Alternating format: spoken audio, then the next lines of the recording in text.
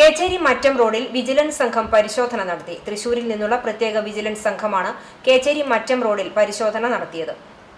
ആറ് മാസം മുൻപ് നിർമ്മാണം പൂർത്തീകരിച്ച റോഡുകൾ തകരുന്നുണ്ടെന്ന് വ്യാപകമായി പരാതി ഉയർന്ന സാഹചര്യത്തിലാണ് ഓപ്പറേഷൻ സരൽ രസ്ത എന്ന പേരിൽ സംസ്ഥാന വിജിലൻസ് മേധാവി മനോജ് എബ്രഹാമിന്റെ പ്രത്യേക നിർദ്ദേശപ്രകാരം വിജിലൻസ് സംഘം പരിശോധന നടത്തിയത്. കേച്ചേരി മറ്റം റോഡിൽ നിർമ്മാണം പൂർത്തീകരിച്ച റോഡിൽ നിന്നും സംഘം സാമ്പിൾ ശേഖരിച്ചു. ഇത് ഗുണനിലവാര പരിശോധനയ്ക്ക് വിധേയമാക്കിയ ശേഷമായിരിക്കും തുടർ നടപടികൾ കൈക്കൊള്ളുക.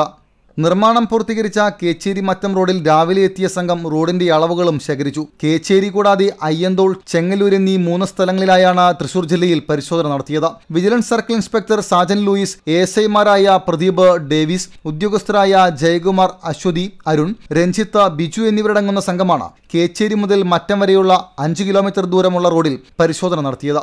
CCTV news Kechery.